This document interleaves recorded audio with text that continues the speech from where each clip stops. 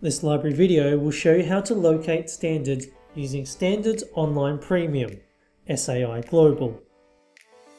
From the library homepage, select Resources, then e-Resources. Standards Online Premium can be accessed in one of the following ways.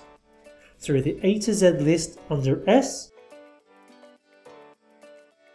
or through the following subject guides, Building and Construction, or Engineering.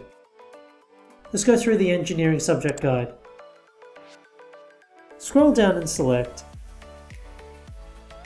Standards Online Premium, SAI Global. Check the wording that is used in standards to find the correct terminology.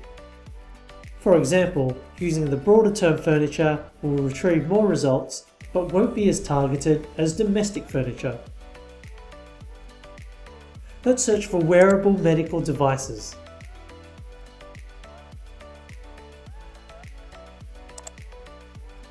As you can see, there are no results.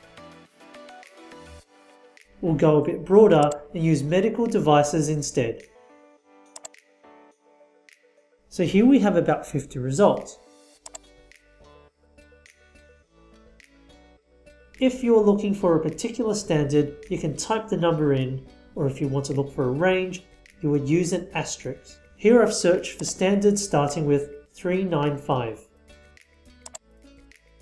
And here are the results. Let's have a look at 3959. Clicking on the document heading will take you to the document details. And to view the document in full, click View Document. Then click on Open Document. Here is Australian Standard 3959 Construction of Buildings in Bushfire Prone Areas. Standards may be downloaded and printed. Downloaded copies are encoded with a predetermined expiry date, after which they cease to be accessible. Refer to the online help section for more information. Please note that if all licenses are currently being used, there are two licenses available, you might see the following icon beside your search results. Alternatively, you may be directed to the following page If this occurs, you need to log out and try again later. Please make sure you log out when you leave SAI Global to allow other users to access the standards.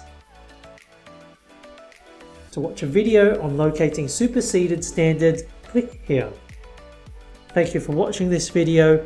For more information, please contact the library.